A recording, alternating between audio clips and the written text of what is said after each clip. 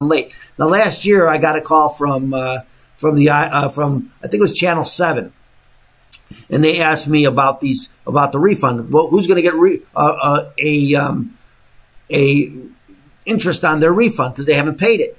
And I gave them what the law was, what the rule was. They sat on the story for about two or three or four days. And when they aired the story that day, the IRS changed the rules and started saying, well, we're not going to wait the 45 days we're supposed to wait. We're going to give them the, re- the, uh, we're going to go back to the original date and we're going to give people, uh, interest on that date. The average interest in, here I have that story up. So let me look at that. so this is from last year. The average, uh, to receive IRS tax refund interest, taxable payments to average $18. So is the convenience or the inconvenience of you not getting your refund worth $18? The answer is no. Right? No, I'd rather have the refund than the $18 that they're trying to that they're trying to pawn off on me to you know to to make up for the time that the months that it's been since I haven't got my refund. But it's I guess it beats a sharp stick in the eye, but not too much more. Uh, my own opinion.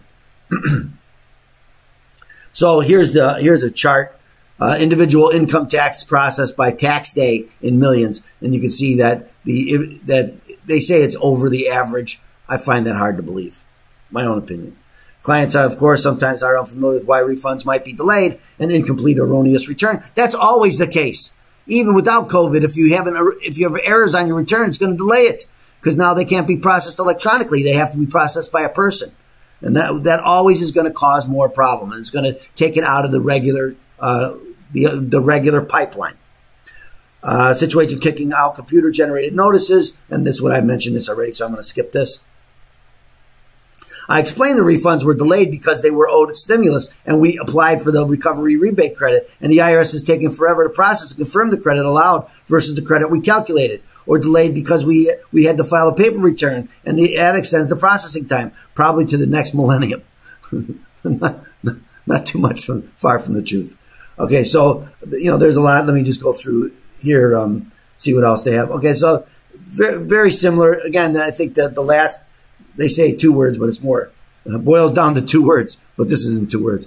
Even with calling the IRS, there doesn't appear to be any way to speed up the process. The best advice we give to clients is to prompt is promptly respond to any notices from the IRS and be patient.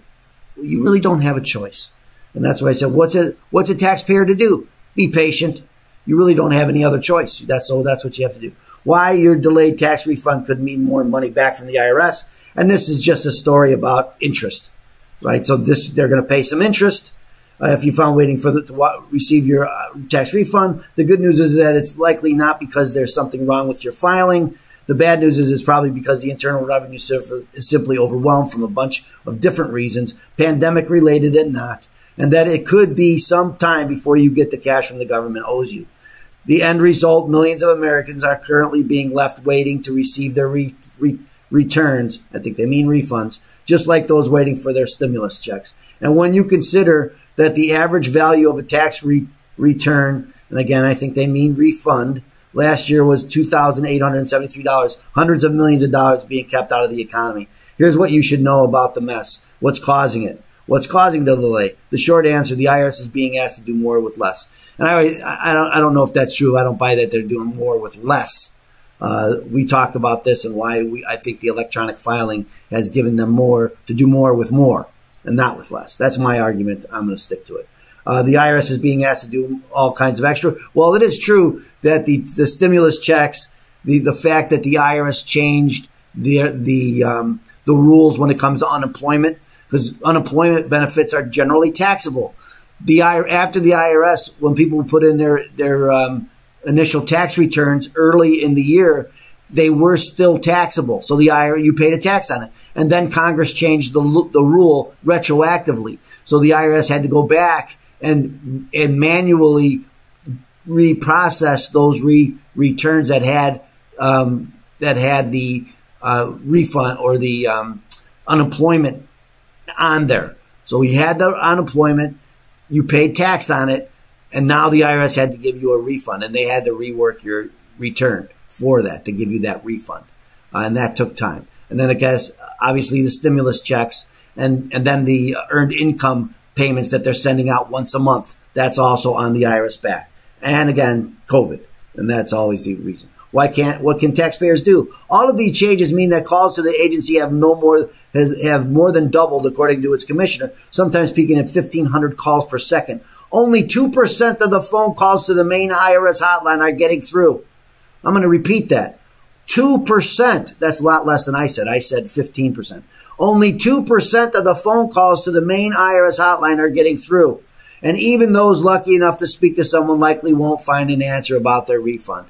Now you can go on to irs.com and tra- uh, .gov and track your refund. It'd be probably be- uh, more. It'd be a better way, uh, use of your time because getting on the phone with the IRS, if you're one of the two percent, you're going to be on hold for a long time until they can get to you. The better thing to do is to use the agency's "Where's My Refund" tool. That's what I just suggested. Will taxpayers facing